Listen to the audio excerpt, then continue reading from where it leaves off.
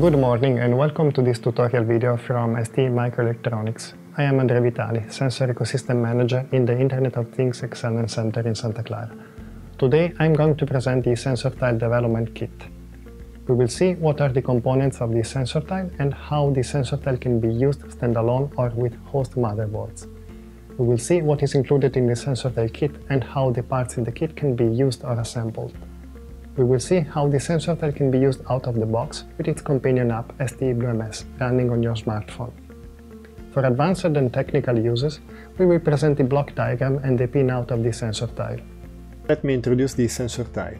The sensor tile is a reference design, an evaluation tool, and a development platform the sensor tile is a tiny square-shaped module. It is only 13.5 by 13.5 mm. This module packs a powerful microcontroller, STM32L4, a Bluetooth Low Energy radio and network processor, BlueNRG-MS with its balun filter and antenna, motion sensors, 3-axis accelerometer and 3-axis gyroscope, environmental sensors, 3-axis magnetometer and barometer, and a digital microphone. This sensor tile can work standalone, just connect the power supply and ground pin to a power source, such as a coin cell battery. The sensor tile can also work with a host board. For this purpose, it comes in two flavors, one with a connector on the back and the other without the connector. Not having a connector makes it easier to solder the module on a host board because the back of the board is flat. The sensor tile is part of the sensor tile kit. The sensor tile kit includes two different motherboards, that can extend its capabilities. The Sensor Tile Cradle board and the Sensor Tile Cradle expansion board. The first motherboard, the Sensor Tile Cradle, is compact and includes additional sensors, in this case the ambient temperature and relative humidity sensor. It also includes the battery management circuits, a micro USB connector together with other connectors, and an SD card slot. The SD card enables the local storage of all the data, removing the need to stream them out immediately. You need to solder the sensor tile on this motherboard, connect the battery, close the protective plastic enclosure, and then you can power up the device by pushing the slider towards the USB connector. The second motherboard, the sensor tile cradle expansion, is slightly larger and includes an audio digital to analog converter, an audio jack connector, and Arduino connectors together with other components such as the USB micro connector. The Arduino connectors enable the expansion of the system. As an example, one can add a Wi-Fi or NFC expansion, a stepper motor control expansion, or any other expansion board with Arduino connectors. You need to plug the sensor tile on this motherboard and then you can power up the device by connecting the USB connector to a USB port or power source. Once you have assembled your sensor tile, you can connect it to your smartphone. You just need to download and install the STBlueMS app from the iTunes or the Android store. If you want to learn more about the sensor tile, you can find other tutorial videos from ST Microelectronics. As an example, search for the Unboxing the Sensor Tile video on YouTube.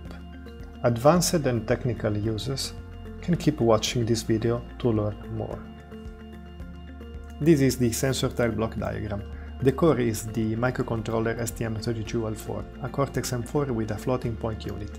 The microcontroller reads the data from the sensors through a 3-wire SPI. The digital microphone needs a dedicated 2-wire bus to transfer the high data rate bit stream to the microcontroller. The bit stream is known as pulse density modulation or PDM. The PDM is a stream of bits. The typical speed is 1 to 2 megabits per second. The microcontroller has enough computational power to process all the data coming from the sensors and the audio coming from the microphone. Once processing is completed, the microcontroller transfers the data to the network processor, which includes the Bluetooth Low Energy radio and the Cortex-M0, which is needed to run the radio protocol stack.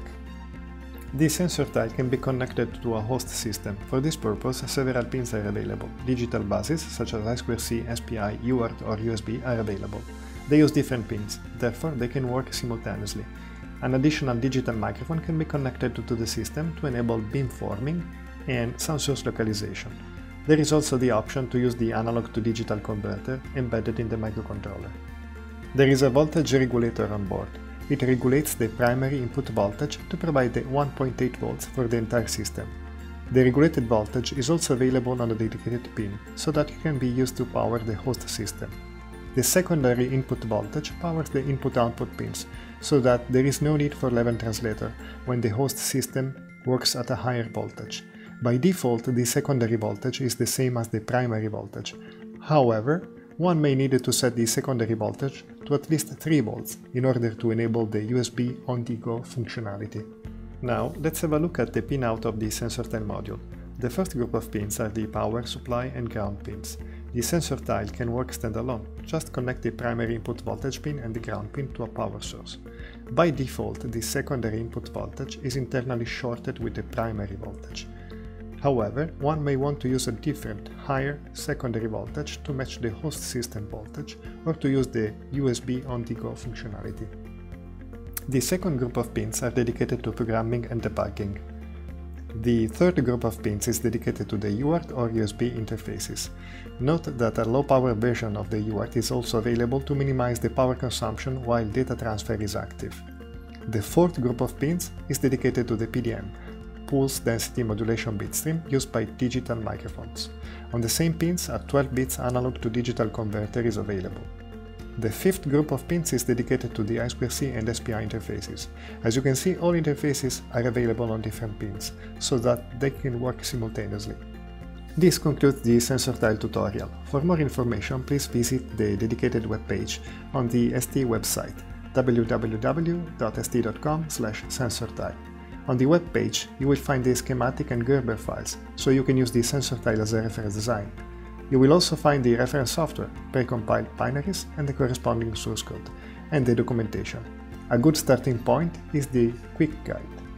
During this tutorial we have seen what are the components of the sensor tile and what is included in the sensor tile kit.